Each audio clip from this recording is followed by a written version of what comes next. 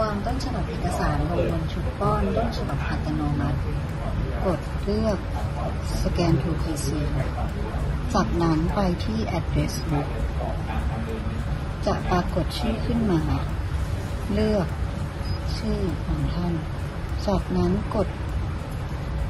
Close สามารถเลือกตั้งเป็นสีหรือขาวดำได้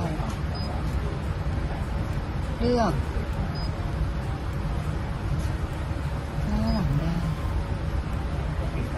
และเลือกประเภทของไฟล์